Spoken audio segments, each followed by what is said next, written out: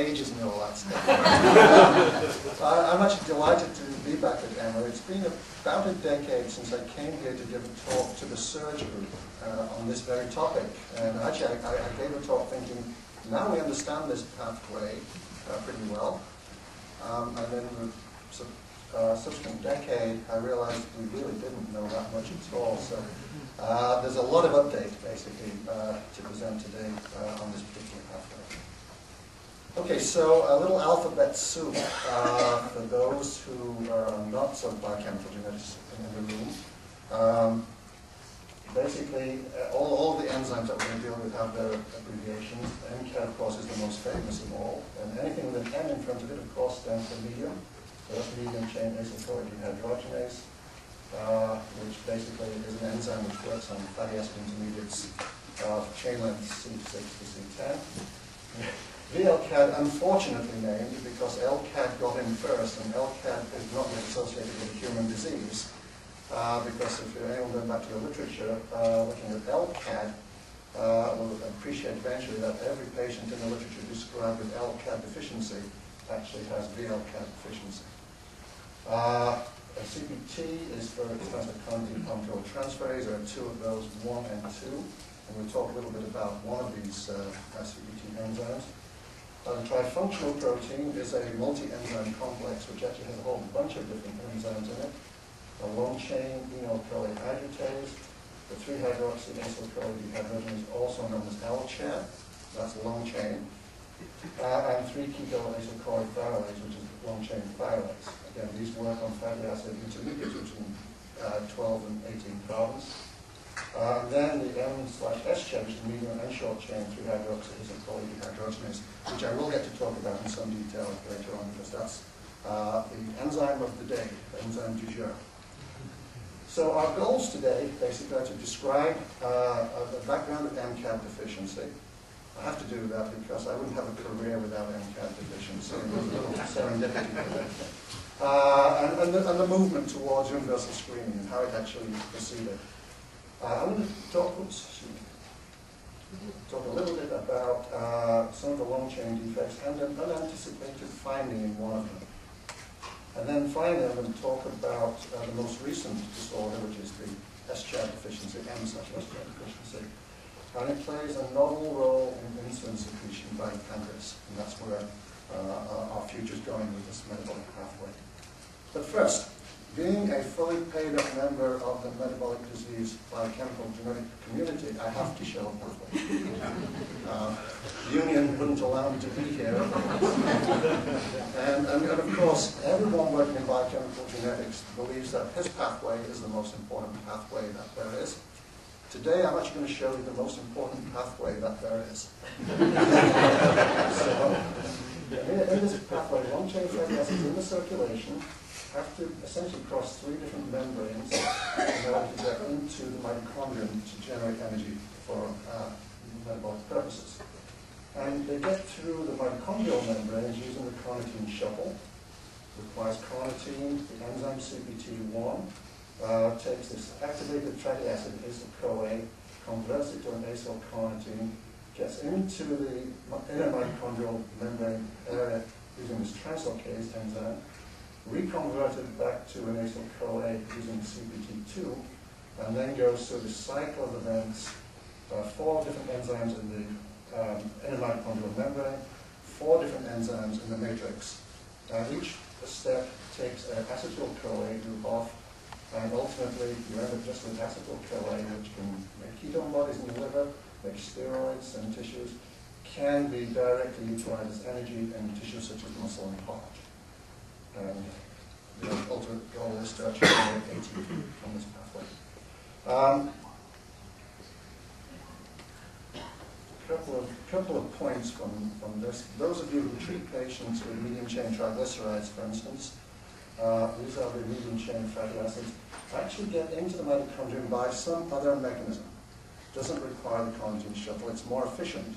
And that's in fact why uh, medium chain triglycerides are rather effective at generating uh, energy for infants or failing to thrive, for instance. Um, this is a bidirectional transporter, the translocase.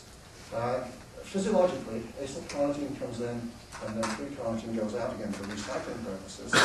But uh, in a pathological situation where there's a defect of any one of these enzymes here of fatty acid oxidation, uh, the acylcarnitines that are formed by reverse reaction of the CPT2 can also be excreted. That's the basis of acyl acylcarnitines in the circulation that we monitor newborns, basically. And then the other point I've made here, we, we actually cartoon this as a multi-enzyme complex. Now, uh, at the time we did this slide, which is, gosh, 10 years ago, uh, we didn't know that for sure. We don't know that for sure now. But it, it made sense to us that it ought to be some sort of complex uh, because this is a pathway which switches on very quickly when you're fasting. There's a huge flux to the fatty acid oxidation pathway, and it makes sense if there's organization. Uh, but no one has actually ever shown organization of any of these enzymes. But I will show you some evidence to say that this is actually true. So, the components of uh, mitochondrial fatty acid oxidation is the fatty transport, that's the movement of fatty acids and carnitine from the circulation to the outer mitochondrial membrane. The carnitine cycle, which is activation, entry of fatty acyl CoAs in the mitochondria. This actually controls the flux through the pathway because if you can't get into the mitochondria, you can't be oxidized. And then there's the process of beta oxidation. At the inner mitochondrial membrane, the long chain acyl CoAs accumulate and they're oxidized. And then in the matrix, uh, this magnificent alphabet soup, uh, the medium and short chain intermediates are oxidized. Uh, the carnitine cycle, as I say, is the rate limiting step uh, for translocation into the mitochondria. It's actually inhibited by malonyl CoA. Uh, tissue levels of malonyl CoA rise when you're postprandial. You're eating carbohydrates. One of the products of metabolism of those carbohydrates is malonyl CoA. Malonyl CoA will inhibit CPT1 activity you can't make acyl acylcarnitines, and so there's no flux through the pathway. When you're fasting, the tissue levels of malonyl-CoA go down, uh, so this inhibition of CPT1 is relieved, and uh, you can then sort of get fatty acids into the mitochondria and generate energy. uh, and, and that's another important when we're thinking about uh, a defect I'll talk about in a little while. Uh, it also introduces the first concept of tissue specificity for this pathway because there are a whole bunch of different CPT1s, the first enzyme which controls its rate. There's one that's present in the liver, kidney, and fortunately for us, it's actually the one that we measure in skin fibroblasts. So when you're looking for a diagnosis of CPT1 deficiency in fibroblasts, that's the one we can do, it's called CPT1A. Uh, CPT1B is present in cardiac and skeletal muscle. A genetic defect awaits us. It's out there somewhere. Uh, we have not found a genetic defect of this. Uh, the late Dennis McGarry thought this might be incompatible with life because the heart needs it. But in fact, in a newborn, there's a, there's a mixture of CPT1A and CPT1B uh, expressed, and it's possible that it's not totally incompatible with life, which might be a very severe disorder. And then very recently, a, a brain form of the enzyme, which is probably somehow related to uh, uh feeding needs uh, we don't know for sure what its function is, but it is probably related to satiety, uh, has been identified. Um, CPT, the carnitine translocase, trans, is a bidirectional translocator, takes the uh, into the mitochondrion, and then CPT2 converts acylcarnitine to a acyl-CoA for oxidation. And then you remember acyl-CoAs cannot get out of the mitochondrion. So in, in kids with metabolic defects here, where they accumulate intracellular levels of acyl-CoAs of wherever the block is, they cannot move. Uh, and then you would sequester all of your CoA uh, in an acute situation if you couldn't get rid of it in, in any way at all. So at the inner mitochondrial membrane, we have CPT2, remaking the acyl-CoA, VLCAD, and trifunctional protein, and they're integral and then there's, now there's, there's some evidence from uh, Dr. Jerry Vockley's lab that these are actually formed as a complex as well. Um, there's some starting increasing evidence. I, I, think in the past what we've done, we've taken mitochondria, beat the heck out of them. Uh, by the way, we isolate uh, these proteins and basically probably broken up any complex that might have been present. Uh, and uh, certainly at some point, and we don't know quite where, uh, the substrate channels to the matrix enzymes, so the short and medium chain enzymes, take over at some point. And uh, we don't know, uh, is the nice thing about this pathway, it's going to keep me going for much, much longer because there are so many questions that we can still ask, basically. But we don't know what uh, causes the substrate to move from these long-chain enzymes of membrane to the matrix enzymes. And then in the matrix, we have MCAD, we have SCAD. Uh, I'm not going to talk about SCAD deficiency. I, I now believe that it isn't a real disease and that in the past we, in the past we had association, but it was not true true related basically. Uh, we have an awful lot of kids who are diagnosed in the newborn period with SCAD deficiency who have never been sick. Uh, certainly they have never been sick like the kids who were initially prescribed. And I have to confess, we actually published one of the original cases, so uh, this, is a, step backwards. Uh, there's a short chain hydratase for which no defect has been found. But in fact, there are a lot of hydratases on the cell. It may well be is a redundant protein. And S-CHAD, we'll talk about that. And then the short chain ketoacetylcholine is actually also known as beta ketothiolase, part of the uh, branched chain amino acid pathway, and is a well-known defect which we won't talk about again today. So the genetic defects of fat oxidation, they are uh, classically disorders of fasting intolerance and a failure to respond to those increased energy demands. Uh, they tend to have intermittent clinical presentations, which is why it took us a while to get there, basically. Uh, we have failure of hepatic ketogenesis, so the liver can't make ketone bodies, one of the end products. So you get hypoketotic hypoglycemia associated with these diseases. Uh, hepatic encephalopathy. So basically what happens in this disease is that the fat is channeled to the liver, it can't be metabolized. Uh, the fat accumulates in the liver and develops this Reye-like illness, which hopefully none of us will ever see again. Uh, but in, in, its form form, though, it can actually uh, cause basically death through liver failure. Uh, there's a failure to respond to increasing muscular energy demands. That can lead to rhabdomyolysis and cardiomyopathy cardinal features of some of the long-chain defects in particular. Uh, we tend to forget about this, but these enzymes are expressed in kidney as well and will result in uh, renal tubular acidosis. And if unrecognized, as particularly in the old days, uh, it can be fatal. Uh, the onset of hypoglycemia can be incredibly rapid in these diseases in the acute phase and that actually cause death very, very quickly.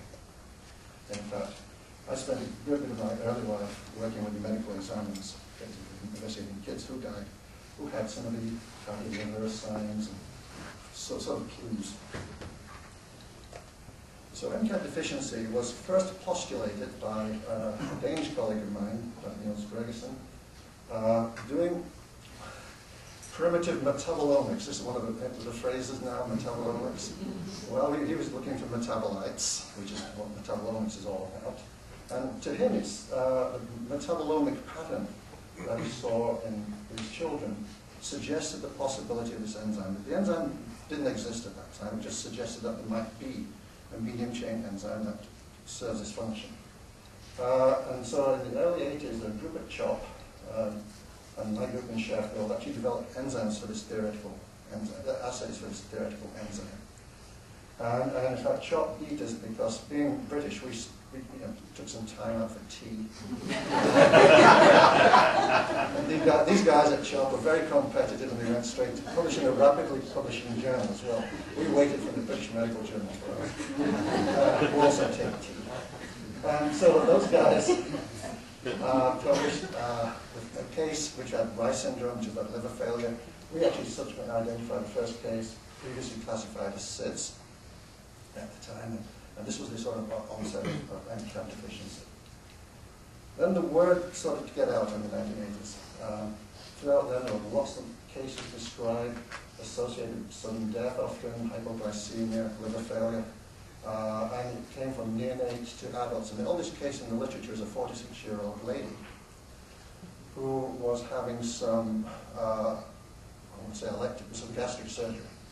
She was fasted before the surgery, she was NPO after the surgery, and developed a Reye-like illness, hypoglycemia, encephalopathy, and died uh, post-surgery.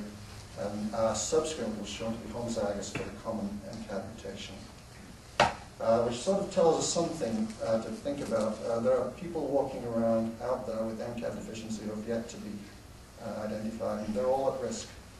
Uh, you know, we tend to think, okay, we're going to grow out of this to some extent, but in this type of scenario, uh, there's a risk still. Um, it was estimated that 25% of cases actually died at first presentation of this disease. There's a high morbidity in survivors because they're getting these profound hypoglycemias, and so they have a lot of neurological damage. Uh, very high incidence of previous sibling deaths in those families. And we estimated this, uh, the frequency of this disease just from case uh, uh, assessment to be sort of similar to that of PKU, which everybody was screening for at that time. And we had a common mutation. And also, by now, it's regarded that if we diagnose this early enough, we'll be treated. That becomes a sort of a significant component to thinking about a newborn screening program. So, uh, in the year 2000, this was the status of newborn screening for MCAD deficiency in the United States. And I actually thank uh, Piero Rinaldo for some of these slides. And anyone who's met Piero uh, will know that he needs to be thanked for his work. Uh, okay, so nobody was being screened for the MCAD deficiency at this point in time. Um, as in any sort of change, there are a few uh, initiators of programs. And two years later, you've got this in Wisconsin, this is North Carolina. What they're doing, they're, they're, they're actually starting to use tandem mass spectrometry for screening uh, programs uh, for, for this. So it's not just looking at MCAD deficiency, but now so this is the conditions they were screening for in these two states. Everyone else is still clustered over this side with the traditional newborn screen. Things move very quickly though, so two years later you can see now that there's a shift in this direction. Uh, but there's no guidance. This is about the time that the American College of Medical Genetics actually started to think about should we be screening for these diseases, and yet all of these states now are actually screening for them anyway. And so they commissioned a report, which came out in 2006, which recognized that there was a core group of 29 conditions to be screened for as the primary targets. About 20 of these could be identified by tandem mass spectrometry. Additional group of 25 conditions as secondary targets, 22 of which could be diagnosed by tandem mass spectrometry. And of course it includes all of, all of my diseases, all of the known fatty acid oxidation disorders were on this list. And so by about now, 98% plus of all babies born in the US a screen for MCAD deficiency and a bunch of other conditions as well, most of the fat oxidation defects. So that, that actually, to me, that's rather remarkable. Within a decade, uh, without a lot of impetus from government or uh, the, you know, the esteemed uh, things moved and, and happened. And we know the situation today. So does screen for MCAD deficiency actually work? Um, uh, there were no outcome studies to say this was going to be actually any good when we, uh, we all moved over to that. And this is a very nice study out of Australia. Uh, Dr. Bridget Wilcken in Australia sort of has a centralized program where everyone in Australia is now screened. And this is some of her sort of outcomes data. So pre-screening, uh, she evaluated 1.6 million births in the entire country of Australia, identified 28 cases of MCAD deficiency, of which 22 either resulted in death or severe hypoglycemia. So, you know, really, when it was in a bad disease to have, basically. Uh, Post-screening, half as many births, twice as many cases, and in fact, there were two, well, there was one death and one severe episode in this. And the death came in the perinatal period before a screen could be actually gotten back from the screen lab. So, yeah, I think it looks pretty good that the outcomes are great. And I can say that CHOP have got about 30 cases that have been screened for MCAD deficiency. None of them have had an acute episode. They're, they're, they're all doing very well. So I think outcomes for MCAD deficiency are really good. And now we're starting to see some outcomes from the, some of the rarer conditions, the rarer fat defects. And uh, intuitively, we think they're doing better, but we don't yet have enough data to say, yes, it's working across the board. Uh, so, and there's, so that's the, the cases. So basically what it means though is that pediatricians won't get to see acute presentations of MCAD deficiency. You won't get to see Reye's syndrome anymore. Kids are not given salicylates, which was also a sort of, uh, a sort of an indicator of Reye's syndrome. Uh, the ones who were not salicylate induced probably had MCAD deficiency. So uh, pediatricians, geneticists, and hopefully are never going to see an acute episode of MCAD deficiency again. And pediatric pathologists will see less of this, that's what the liver looks like in MCAD deficiency when uh, uh, it's pointed that this is taken an autopsy. That's fact. That's the fact we're talking about in liver. Course, there will be lots of other reasons for them to see fatty liver uh, in the future with our epidemic of obesity uh. So now, uh, treated MCAD deficiency, it's not such a bad disease to have. Uh, in fact, if, I were to have a biochemical genetic disease, I'd, I'd go for deficiency. it's far worse ones, frankly. So it's gone from a fatal condition to almost 100% survival in a, in a couple of decades, basically. Uh, these kids are normal. Uh, I was actually at a family support group meeting a couple of years ago, uh, and there was this young man playing the piano uh, for everyone, and he was actually, he was in the UK, he was about to be going to the equivalent of Juilliard in London. And I thought he was a sibling. He said, no, Dr. Bennett, you, you diagnosed me a long time ago in, the UK. And they're, all doing really, really well, these, these kids. Uh, but the, the cautions you've always got to prevent that prolonged fasting. Surgery is a contraindication for this disease maybe, I don't know, uh, uh, about marathon running, that's probably not a good thing to do either. Which now brings us to CPT1A deficiency, one of the long chain defects. So it's, so far it's the only form of CPT deficiency described to date. It's the liver one, the one that can diagnose failing in skin fibroblasts. Oops. Uh, results in fasting-induced hypoglycemia. Now, being a long chain defect, you get absolutely no ketones made because you can't clip any of those acetyl groups off. Whereas MCAD deficiency, you can get a positive acid test, by the way.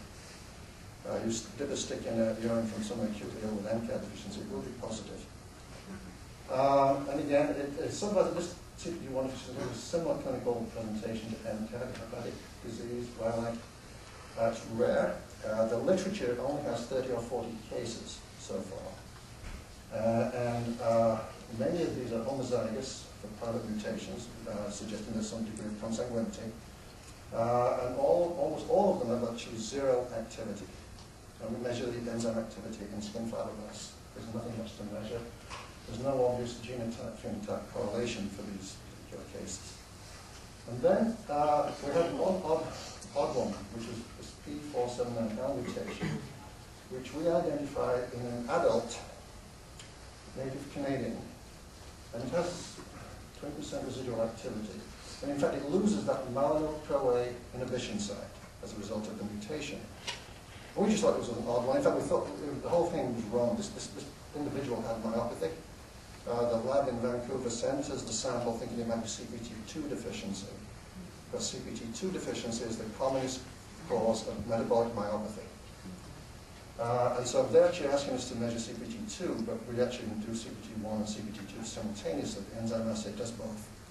And it turned out to be CPT1 deficient and we found mutations. Uh, so we took it back to our colleagues in Vancouver. They decided that the myopathy might be related to the fact that this guy was distilling things in the out in Vancouver and whatever he distilled, and probably had nothing to do with CPT deficiency at all. So we left this one in the literature for a while. And then they started newborn screening in Alaska. Uh, and, uh, and, and it's the lab in Oregon who actually screens for the Alaskan population. And all of a sudden they started getting all these positive screens for CPT1 deficiency.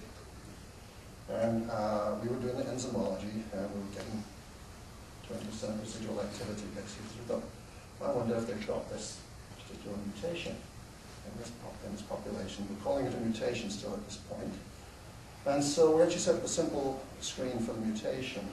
Uh, we took fibroblasts from the Alaskan kids who were positive for this, all of whom were Inuit. They were all actually um, Eskimo origin. And lo and behold, every single one of them is homozygous for this particular change. And, I think now the Oregon lab has got hundreds and hundreds of cases of individuals who are homozygous for this particular uh, DNA variant, as we're calling it now. Uh, Cross-sectional studies have not been done in the population yet, so we don't, we don't know whether this is just a normal variant for Inuits, but we think it probably is. Actually, has anyone's had trouble dealing with an IRB? anyone who's had to deal with an IRB has had trouble, I can tell you now. I actually sit on an IRB.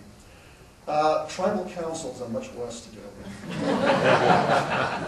and, and, unfortunately, someone mentioned genetics, and uh, the Inuit population didn't like these people doing genetic research on them. And my colleagues in Oregon go every summer, because you've got a very short season to visit uh, in Alaska, to try to explain to the tribal council that we're, this is not genetics. This is basically, we're trying to do a study to see whether this is normal, and we've actually done some cross-sectional studies in the population. I mean, a blood sample, please. Uh, this has been four years in the making so far. They've been going up every summer. They're girding themselves for another trip, I'm sure, this year. Uh, so where we are with the situation at the moment. So we have this, this is the variant. Uh, it's also present in some of the First Nations tribes in, in Canada and actually there's some published information from those guys. It's actually present also in the native Greenland population. Uh, what's interesting though is that the rate of SIDS is three times higher than the rest of North America in this population, and maybe other reasons for, for that. Uh, there's certainly increasing obesity in the population, maybe other reasons for that. Uh, we, we know that this enzyme here, decreased enzyme activity, and uh, lacks inhibition by malonyl CoA. So uh, the fatty acids are continuously being able to get into the mitochondria for oxidative purposes. There's nothing to stop them getting in. The enzyme works at a lower rate, but uh, it doesn't actually uh, switch off when you're fed. So we think this actually could well be an adaptive and an, an advantageous uh, uh, change to the ancient Inuit lifestyle. So summertime, things looking good, You've caught a seal, you're going to eat that seal, you're going to put some weight on. Uh, wintertime, your seals have gone. Uh, but now you can actually sit in your igloo and basically live off that seal slowly, almost like hibernation. You've got uncontrolled but consistent and constant uh, oxidative uh, uh, metabolism of, of, lipids. So we think it actually could well be an adaptive lifestyle for ancient Inuit uh, styles. What would be worried, worrying, I should say, is that um, I've been in Anchorage recently. They have McDonald's there. They've got all the usual stuff. And uh, the Western lifestyle might actually not be good, uh, given this particular uh, DNA variant. And it may be a cause of uh, higher infant death. It may be a cause of the obesity that we're seeing in the, in the adult populations. So, but again, we need to do those cross-sectional studies. Um, alternatives are to maybe study other individuals who have a sort of similar lifestyle. I thought maybe that would be uh, so uh, I, I, wouldn't want to be the one to volunteer to draw blood on this. Yeah. But, uh, but uh, uh, you know, it, it, it's there. So well, this is a story that's in the making, and we'll, we'll, see how, how it progresses, and maybe we'll get the tribal councils to approve to those cross-sectional studies. It would be good to know if the infants and children, so I guess it would be good to know if uh, any other sort of uh, disadvantageous uh, life patterns were associated with this change. So other long-chain uh, fatty acid oxidation defects include the CPT2 deficiency, the translocase and VLCAD deficiency, and each of these has three different clinical phenotypes. Uh, we've got the, oops, we have the fatal neonatal phenotype, a very severe mutation, usually due to uh, truncating mutations mutations where there's no protein generated at all. Uh, and so that's generally has systemic disease, including some developmental issues with the severe CPT2 form. Uh, there's an infantile form of the disease, which usually has severe fasting intolerance, often myopathy and cardiomyopathy. These individuals do have a sort of, a sort of genotype-phenotype correlation, but in that they tend to be compound heterozygotes for one of the severe, fatal uh, neonatal forms, and one of the milder forms of the disease. And then there's the adult onset with myopathy, but no cardiac and hepatic disease. Now what's interesting for CPT2 deficiency, there's a common mutation in adult presentation. Uh, it's the S113L mutation. And uh, what happens, this is actually is a heat labile protein. And so you can make the protein, it has 20, 30, 40% residual activity. Uh, uh, but when, for instance, you're doing uh, exercise of any kind and the muscle warms up, the protein falls to pieces. And so you tend to see this myopathic presentation for the disease. The liver doesn't warm up in the same way, so the, the residual activity is fine in liver. These individuals can make ketone bodies. Uh, so that, all that is fine. Uh, and we actually see this disease, the adult form of CPT2 deficiency, for instance, in young men who join the army, go to boot camp for the first time. Uh, we've had uh, SWAT squad members identified with this disease suddenly develop potentially fatal rhabdomyolysis, basically. And this is undoubtedly the most common metabolic myopathy uh, out there. Uh, trifunctional protein deficiency, this is that sort of multi-enzyme complex. It's a little different. Uh, this is actually a heterooctamer, so there's eight subunits, four alpha, four beta subunits. The alpha subunit contains a hydratase and the LCHAD deficiency. The beta subunit contains the thiolase enzyme. Uh, if, if basically, uh, we define LCHAD deficiency. We started in, in, in 1989 from, from Wanders in Amsterdam as mutation that only affects the LCHAD activity. And there's this very common mutation, G1528C, uh, in 60% of all alleles, 100% uh, in Finland. Uh, and this basically just affects the uh, cofactor binding site for LCHAD. It doesn't affect the other constituents at all. And uh, so you see LCHAD deficiency, but you don't see the hydratase, you don't see the thiolase deficiency. Complete trifunctional protein defects can result from mutation in either subunit, which affects all, uh, all enzyme activities. And the clinical features include the Reye-like illness, include hepatic failure, hypoketotic hypoglycemia. There's a more chronic liver disease associated with LCHAD deficiency. So anyone who's managing individuals with this defect will probably be seeing much more chronic liver disease. It goes on. It's not just like the acute events associated with fasting. And it can lead to sorts of cirrhosis. Will develop cardiomyopathy, uh, muscle weakness, uh, and, risk for very, very rapid onset of rhabdomyolysis with trifunctional protein defects. It's not a good disease to have. Uh, there's some peripheral neuropathy. And then there's sort of retinal pigmentary changes. These kids go blind, basically.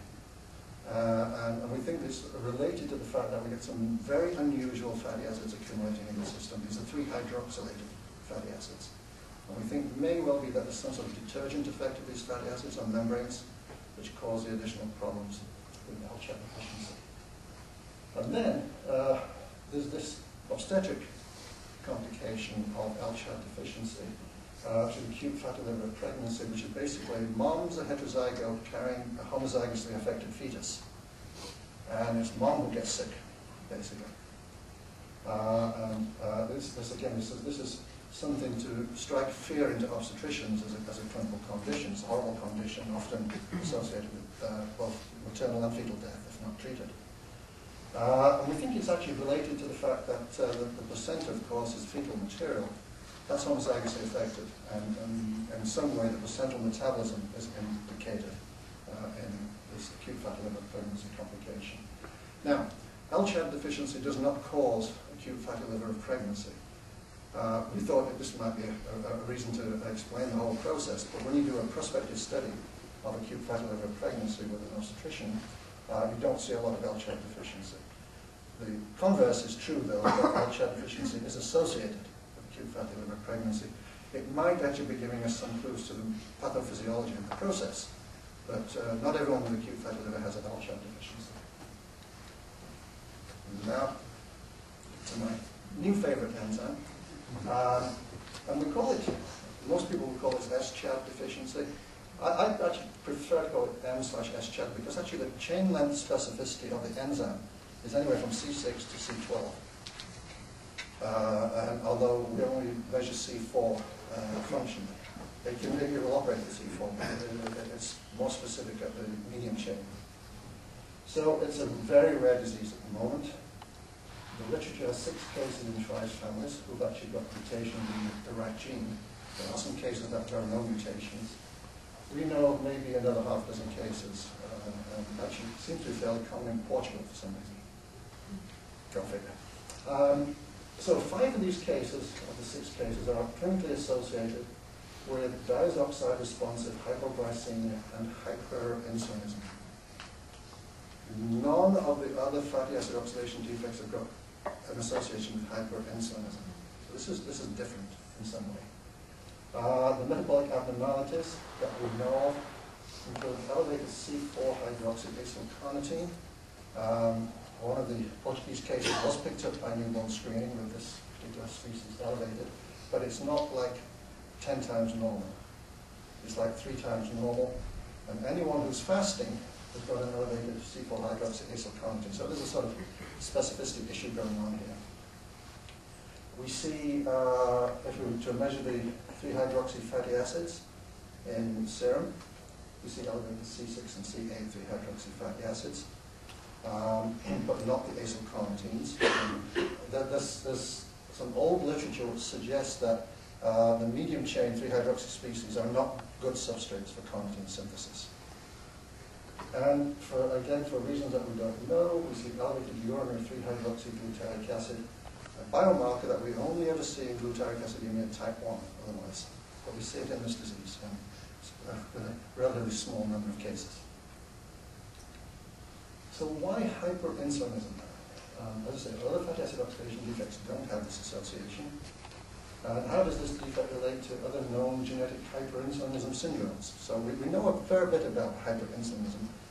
And actually, it was, it was really great for me to go back to CHOP uh, five, six years ago, because the biggest hyperinsulinism clinic uh, in the US uh, is there with Dr. Charles Stanley, one of my good friends and colleagues.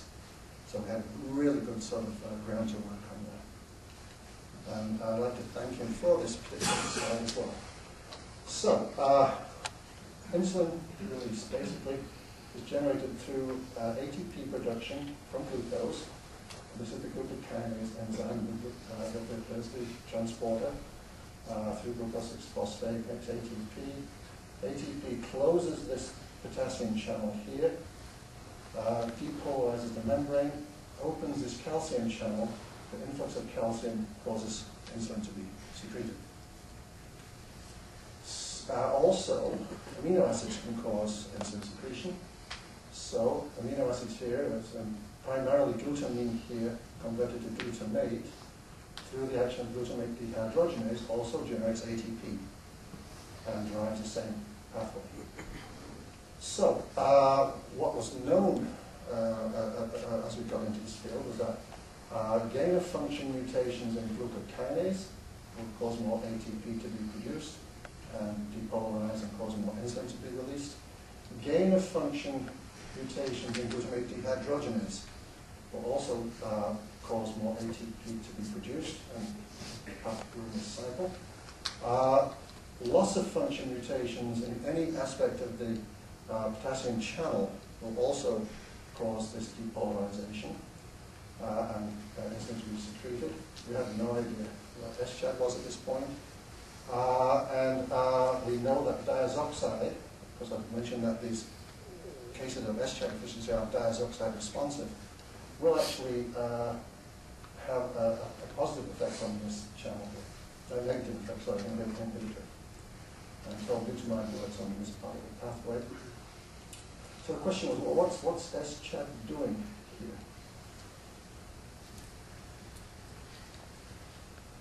We have a, a, a knockout where there are five or six patients. You can't actually study pancreas in people very easily, quite frankly. Uh, the IRB, I sit on one to do this. Um, so we have a knockout mouse model for this, and it turns out to be it's a pretty good model, uh, as far as we can tell. Uh, oops, it has all the right metabolites. So we, we see uh, 3-hydroxy C4-carnitine. This is the knockout mouse level. This is the wild type. You can see the difference is not huge, and that's also shown in people. That's when fed. Interestingly enough, uh, the same metabolite when fasted is higher in the wild type, and you would anticipate it to be higher because you're hopefully you, you, you, are moving towards ketogenesis when fasted. But in fact, it's a little lower in the knockout mouse. There's a clue there as to what's going on here. Uh, the 3-hydroxy fatty acids uh, are elevated in our mouse compared to wild type, C6 and C8, just as in people. The urine organic acids has 3-hydroxyglutarate and um, glutaconic acid, which has not been seen in people. So we have the same biomarkers for the disease. So it appears somehow that SCHAD's modulating glutamate dehydrogenase activity. And the question was, is it a protein-protein interaction that's enzymatic? Is my enzyme doing something to glutamate dehydrogenase? Is it a non-enzymatic protein-protein interaction? What we call a moonlighting effect of the protein. It's not, there's nothing to do with fatty acid oxidation, it's just the protein itself is interacting in some. Or is it regulation by a fatty acid metabolic intermediate? We have searched high and low for reasons that any of those metabolic intermediates might uh, have an effect. We've, actually developed an, an assay to measure intracellular acyl-CoAs. And we really haven't found a metabolite that we think is actually causing this change. So uh, this is actually not a very pretty slide, but it's the only one we've got. Uh, so immuno pull down uh, of tagged SCHAD basically that's a histidine tagged SCHAD on a column. And does it pull down other proteins? And it actually pulls down glutamate dehydrogenase. Yes, the proteins interact with each other. That's what it's telling us in a particular slide. This was actually done by uh, some friends who were in Stockholm at the time, showing it all, but now I think they're in London. So, in thinking about possible protein-protein interactions, this is actually uh, an in silico experiment. This is the SCHAD dimer. So the X-ray crystal is known for this particular protein. This is the glutamate dehydrogenase trimer. So we ask the question, are these two likely to interact in any way whatsoever? Does the hydrostatic forces allow them to actually combine in some way? And when you just ask that in silico, you get that. Yes my protein wraps around glutamate dehydrogenase, SCHAD protein in silico, actually wraps around. And it actually wraps around and sort of hides the NAD binding sites for glutamate dehydrogenase. So yeah, there could be a, a, positive interaction here. So then we took our knockout mouse again, again using SCHAD as a bait, uh, and then the Western blot for glutamate dehydrogenase. Uh, in the wild type, you see there's nothing there. In the knockout, we see that it was actually a band of glutamate dehydrogenase. What he's telling us is that yes, the um, SCHAD pulls down glutamate dehydrogenase in the knockout, but not in the wild type. Um, and, and, I think that's telling us that in the wild type situation, uh, dehydrogenase is fully bound to SCHAD anyway, so none of it is free. And in fact, quantitatively, there's a, is most abundant in pancreatic islets, for instance. So we think that's what that's telling us, is that uh, in, in, a, in, a, situation where there's a normal amount of SCHAD, there's no glutamate dehydrogenase free. Everything is bound up to GDH. But in the knockout, of course, GDH is free, and it's free to be bound to our bait, basically. So yes, there's a true protein-protein interaction going on here. Uh, in fact, mass spectrometry of that band, because you can't just do westerns anymore these are actually fragments from glutamate dehydrogenase that we actually pulled down um, using mass spec. So, okay, so glutamate dehydrogenase is the amino acid stimulated pathway for insulin secretion. This is actually isolated uh, pancreatic islets from the mice by Li. Uh, basically what we're doing here is looking at the glutamine oxidation rate in that. So glutamine to glutamate to alpha ketoglutamate to generate ATP basically. And you can see that in the knockout mouse, there's twice as much glutamine oxidation going on. So the glutamine, the glutaminergic pathway of insulin secretion is upregulated. Moreover, we also did sort of amino acid mixes make sure that other amino acids were all well involved. And, uh, and essentially, in a situation where you remove all amino acids from this uh, isolated islets from the knockout mouse, but there's no stimulation of insulin. When you add amino acids back in again, glutamine, glutamine and leucine, glutamine, alanine and leucine, you see that you actually get stimulation of insulin. So this is basically telling us that this has probably got absolutely nothing to do with fatty acid oxidation. Um, and my union won't allow me to say that ever. Um, but it probably is an amino acid stimulated process. And this is sort of bound out now by a little bit of clinical evidence, in fact, to say this is not a fasting disease. This is actually a postprandial disease. It's amino acid mixes that's actually causing the hyperinsulinism. So fact, we actually also uh, took uh, molar mixtures of the two enzymes to see whether we could see a physical effect on, on, on the difference.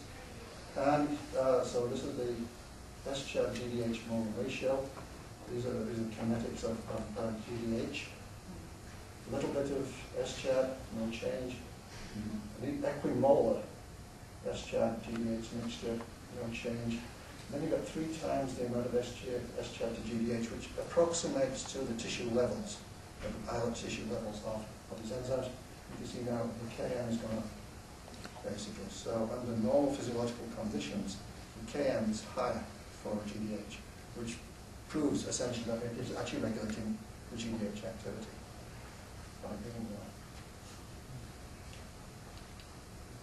So it's a non-fatty acid oxidation role for SCHAD.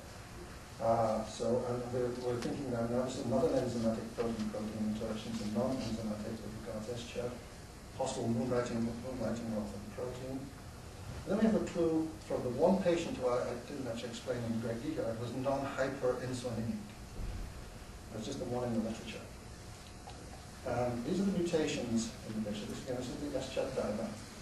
And there's a mutation here, which is a, compound heterozygote. With this mutation here, which actually initially we thought would uh, affect the dimerization of the protein, which I can show it doesn't. And then there's this mutation here, which is actually in the NAD binding site for SCHAD. So we did a lot of studies. We expressed these two mutations. And first of all, this is a non-denaturing gel, so it doesn't very pretty, but what it's telling us is that the, the native protein is there. So, so we thought that dimerization might be affected by one mutation, but it isn't. So it dimerizes, and this is the right size for a dimer. Uh, both of the monomers are present uh, and, and, and expressed. Uh, the kinetics do change. Again, this, the Km is affected for this protein, but the protein is there. That's the important point of this. There's a kinetic mutation that causes the disease in this patient, but in fact the protein is present and presumably is interacting normal with glutamate dehydrogenase. Uh, this patient is not getting hyperinsulinism. Again, some evidence to say that it's, it's a protein-protein interaction. So, uh, so patients with no mutations demonstrate hyperinsulinism. The patient with reduced activity with normal protein expression doesn't demonstrate hyperinsulinism. So the loss of SCHAD protein upregulates GDH activity in a fashion similar to the gain of function mutations in glutamate dehydrogenase. Uh, so it's a protein sensitivity rather than a fasting defect. We're still searching for possible metabolic intermediates. That's what I do for a living. I've got to find something at some point. we'll keep on searching. I've got to in the case at the moment. Uh, and then the question then comes, does GDH or another interacting protein have a regulatory role for SCHAD? Working both ways? Uh, but uh, then that pull-down experiment, I only showed you a part of the data. Uh, lots of other proteins pulled down in the same immuno pull-down experiment. Uh, and in fact, it provides a lot of very firm evidence for convergence of multiple metabolic pathways. So in the same pull-down, we have glutamate dehydrogenase, we have carbamoyl phosphate synthase 1, which is an enzyme of ureagenesis, uh, requires for a cofactor a compound called N-acetyl glutamate. Okay, so it's competing for glutamate in the pool. HMG-CoA synthase and lyase, two enzymes of ketogenesis, are part of this what is pulled down, this is immuno pull down. Uh, and this is in liver, of course. You wouldn't expect that in other tissues. Uh, we pulled down the mitochondrial trifunctional protein, both alpha and beta subunits. Uh, this is the first clue that base, the long chain and the medium and short chain enzymes are somehow connected metabolically. We pulled down the aspartate aminotransferase, otherwise known as glutamate oxaloacetate transferase. This is another enzyme where you're competing for glutamate, and you're making glutamate available for glutamate dehydrogenase reaction. Uh, malate dehydrogenase, part of the malate shuttle, shuttling oxaloacetate in and out of the mitochondrion.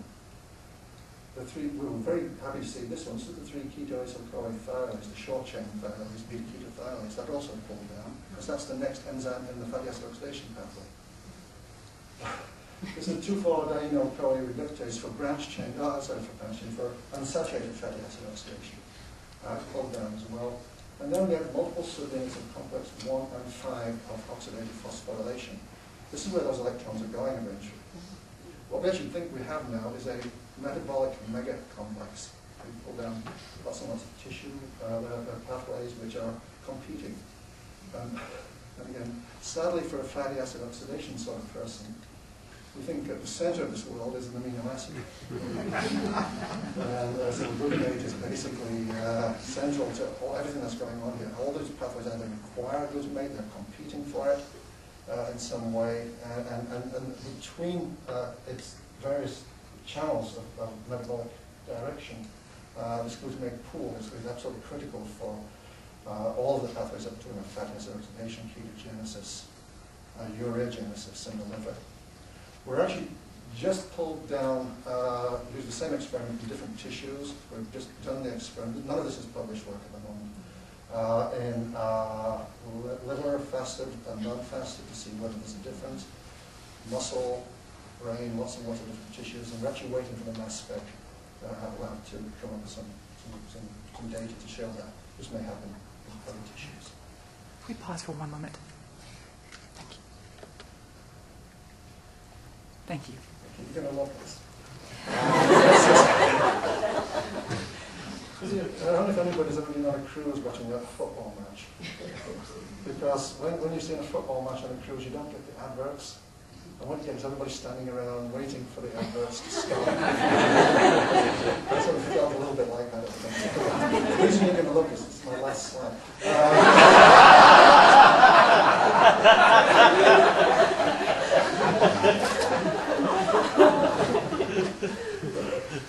so, I, I, say we need to thank you know many, many people over the years. This has actually been a, a, a labour of love for a long time. But in, in recent years, oops, he's gone. Uh, I'd like to thank Charlie Stanley and Chang Li for the work with hyperinsulinism. We're actually, as an aside, they have the largest hyperinsulinism clinic in the US. And only about a third of their patients are characterized at a genetic level. So there's diseases in there.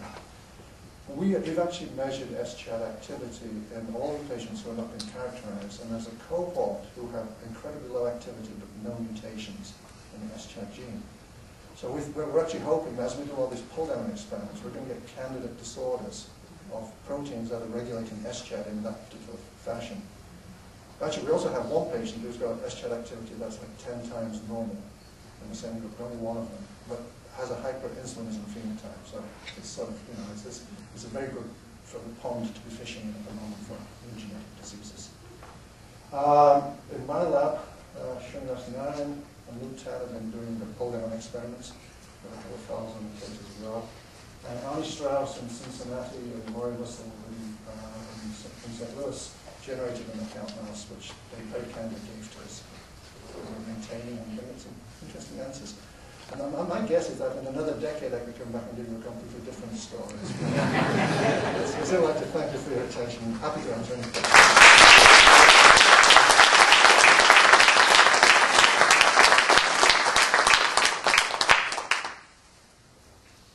Does anyone have any questions? So for SCHAD deficiencies, are you now, do you think that we should take it off the screening or do you well, the question was for SCHAD deficiency, do we take it off the newborn screening? SCAD. Oh, SCAD.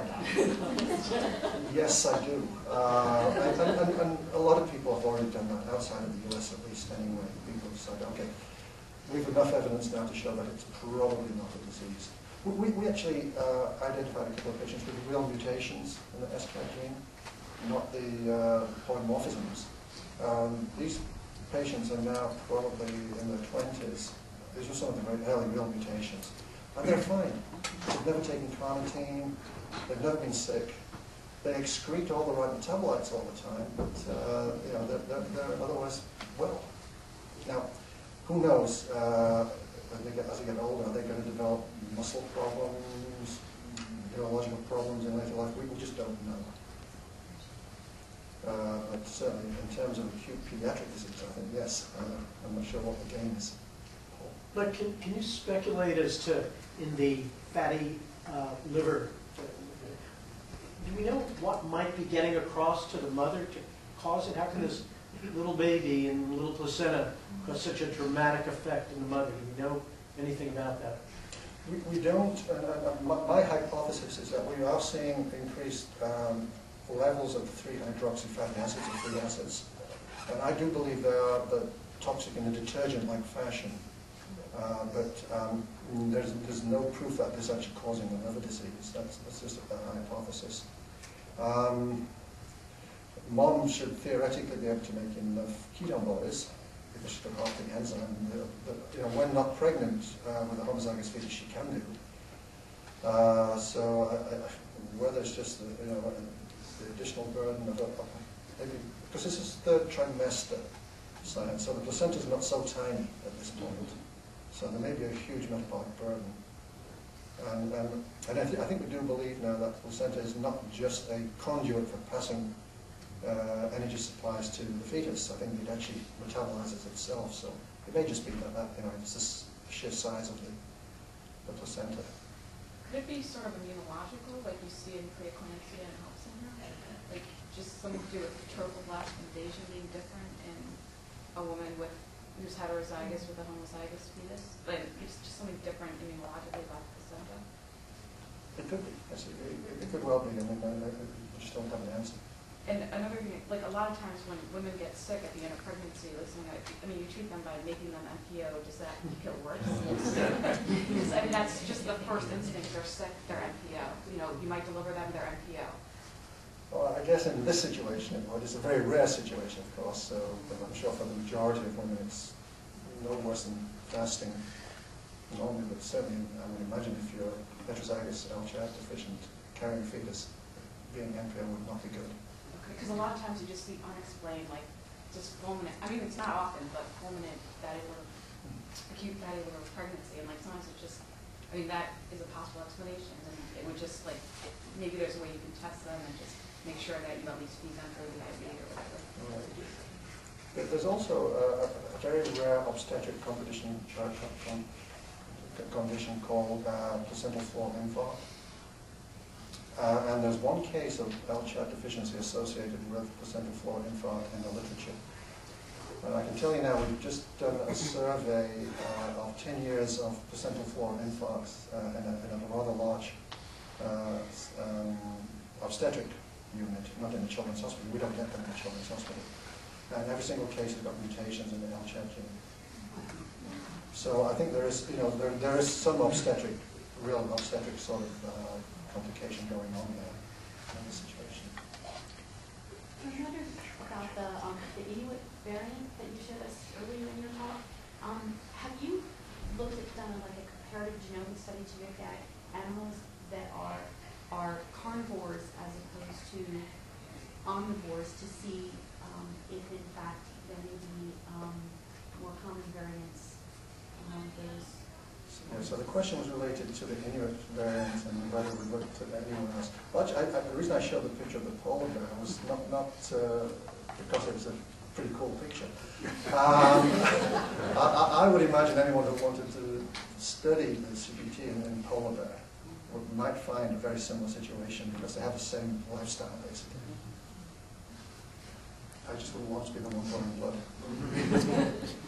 So um, patients with urea cycle disorders, when on treatment, tend to have higher glutamine levels, and when they have metabolic crises, the glutamine levels go sky high. Do they show hyperinsulinism in response to elevated glutamine levels? And should we be concerned about that in this patient group? That's a good question to which I don't know the answer. And at least clinically, you know, we have not seen the hypoglycemia associated. Well, we have- put them on, on glucose right away. Yeah, but still even though, but we haven't looked for insulin levels, so it may be something we can. But the, so the, the, the idea about catabolism, you know, we know that most of these patients, um, it was not the, it, it's during the catabolism that they, they really go crazy in terms of, um, the symptoms we get from them, both fatty acid and urea cycle. So that, that's what Brendan's work also actually has shown. People, that's what he he is discussing, but we don't know what it is. Mike, when you showed, uh, when you studied the interaction between uh, glutamate dehydrogenase and the acetate, have you looked at whether how the how their substrate, uh, how their ligand affect the interaction between these two? So, so it seems like you, you looked at the substrate for glutamate dehydrogenase, but have you looked at uh, whether the substrate for acetate actually affected Right, um, the yeah. We- have done the converse experiment, uh, and in fact, the the GDH mixing experiment didn't actually impact SCHAD at all. Uh, We would have liked to have seen that, we're actually now we, we know, of course, that um, uh, the, the, the- the GDH is probably not going to impact SCHAD activity because of the GDH activated, activated mutations don't have signs of SCHAD deficiency. Uh, So, so um, we're we're thinking that there are other interactions going on. So, um, so for GDH dehydrogenase um, patient, they usually have hyperammonemia. Mhm. Do we see that in SCHAD? The one case of SCHAD deficiency who does not have hyperinsulinism did actually have some hyperammonemia at presentation, but it was a liver failure picture. So there may be other reasons as well. It would be nice to think that, yes, this is impacting CPS activity in some way.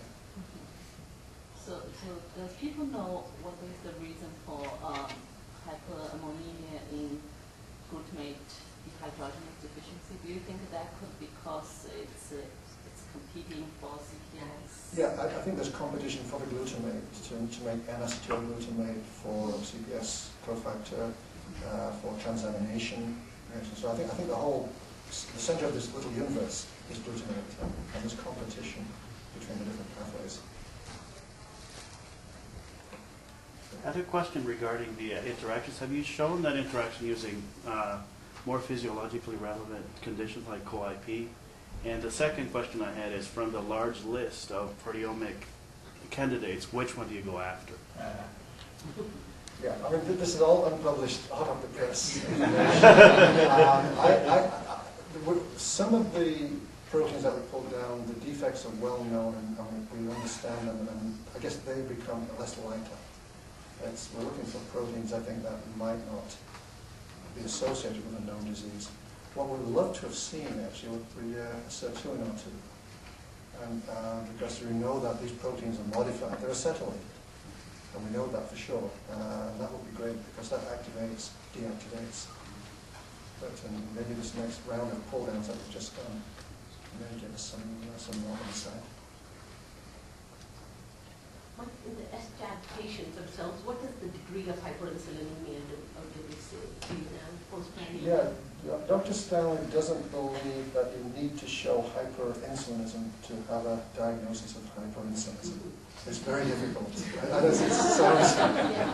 but, but he tells me that, you know, you- if you've got a a phenotype that looks right, smells right, it probably is right. Uh, But he does some very extensive sort of uh, fasting investigations of all these patients, and you don't always see uh, hyperinsulinism per So se. you don't, No.